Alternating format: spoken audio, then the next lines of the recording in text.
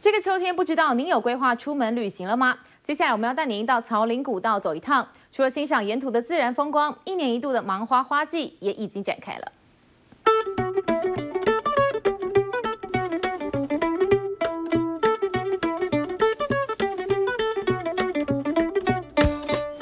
闲来无事的短暂假期，这是最适合登高望远的好日子。背起行囊，跟着温柔的阳光前进。火车的声音令人倍感熟悉。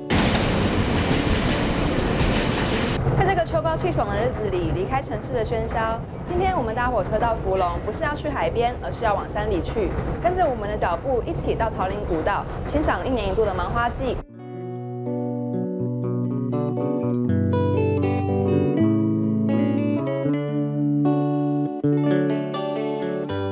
下了火车，往草岭古道的入口处前进。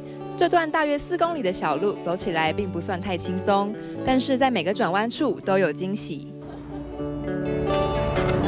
像是这间坐落在竹林里的猫屋，超过三十只大猫咪、小猫咪就这样闲散在庭院前，顾盼自如地享受日光浴。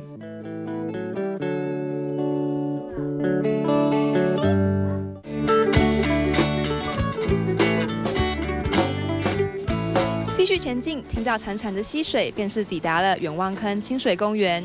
这里才是我们芒花行的起点。跟着大队人马一起上山，桃林古道是属于淡蓝古道的一部分。早期先民要从蒙甲到宜兰，就是要这样翻山越岭。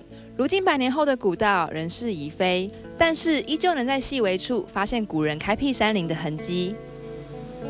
距离入口处不远的地方有座叠死马桥，之所以这样命名，还真是因为过去有马匹在此衰落而得名。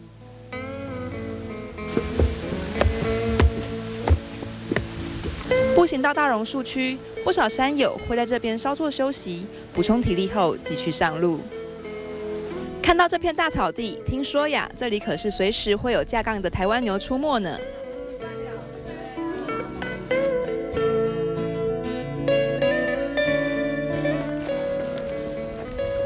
这里就是位于草岭古道山腰上的雄镇蛮烟，它不但是三级古迹，也是台湾目前现存最大的石碑。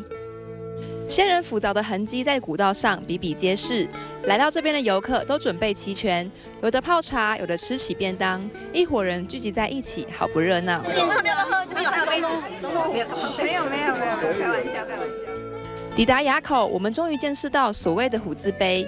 相传是总兵刘明登走过草岭古道时，狂风大作，因此才立碑镇压。都是用原始，它石头是什么样子的，就是怎么样。但是日据时代的碑有很多都被铲除掉了。哦。从这边望去，看到满座山谷的白色芒花，山友们也鼓噪了起来。我想这就是来到草岭古道最丰盛的礼物了。满山遍野的芒花，在秋天换上白衣，随风摇曳起舞。树大便是美，这句话在这边完全能用心体验到。